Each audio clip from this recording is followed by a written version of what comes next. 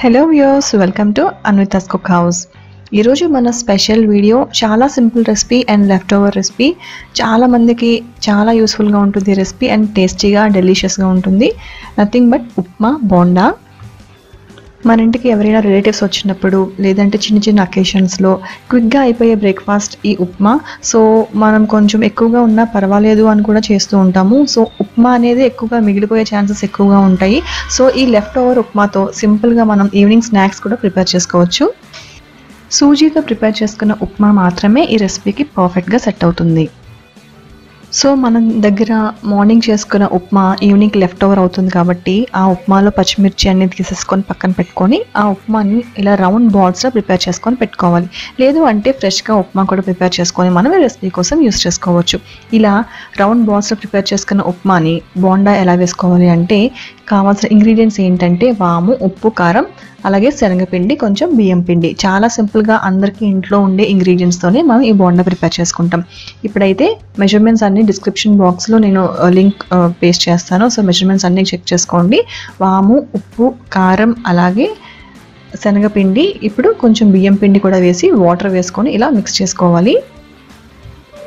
మనం బోండా వేసుకున్న పకోడీ వేసుకున్న బజ్జీలు వేసుకున్నా కూడా consistency main part and main role play చేస్తుంది అనమాట సో వీడియో చూపించిన కన్సిస్టెన్సీ వచ్చిన తర్వాత మనం ప్రిపేర్ చేసుకున్న ఉప్మా బాల్స్ని బ్యాటర్లో డిప్ చేసుకొని ఆయిల్ మీడియం హాట్లో వేడెక్కిన తర్వాత మాత్రమే మనం ఉప్మా బాల్స్ని మీడియం హాట్ ఆయిల్లో వేసుకొని ఫ్రై చేసుకోవాలి.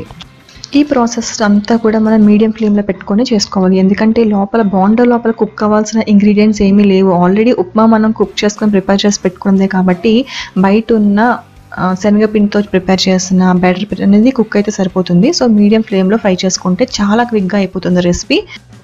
ఇడ్లీ ఉప్మా ఎంతైతే క్లిక్ అయిందో ఎంత టేస్టీగా అయితే ఉంటుందో ఈ ఉప్మాతో బోండా కూడా చాలా బాగుంటుంది. ఉప్మా బోండా ఏంటి అని అనుకోకుండా ఒకసారి మీరు కూడా ట్రై చేసి చూడండి. ఆ కాంబినేషన్ అనేది పర్ఫెక్ట్గా ఉంటుంది. అండ్ మనకి ఈవినింగ్ స్నాక్స్ అనేటప్పటికి శనగపిండి డీప్ ఫ్రై బజ్జీ పకోడీ అలాంటి క్రేవింగ్స్ ఉంటూ ఉంటాయి. సో అది కంప్లీట్ ఫుల్ఫిల్నెస్ రావాలి ఈవినింగ్ స్నాక్స్కి అనుకున్నప్పుడు. ఈ రెసిపీ ది బెస్ట్ రెసిపీ అని నేను చెప్పొచ్చు. అండ్ ఈ మన ఇలా గోల్డెన్ బ్రౌన్ కలర్ వచ్చిన తర్వాత టిష్యూ పేపర్ మీదకి ట్రాన్స్ఫర్ చేసుకొని టొమాటో కచ్చప్తో సింపుల్గా సర్వ్ చేసుకుంటే వేరే ఏ చట్నీస్ కూడా అక్కర్లేదు. ఆల్రెడీ లోపల మనం ఉప్మా పెట్టుకున్నాం కాబట్టి ఆ స్పైసీనెస్ ఆ మసాలా అంతా ఉంటుంది లోపల.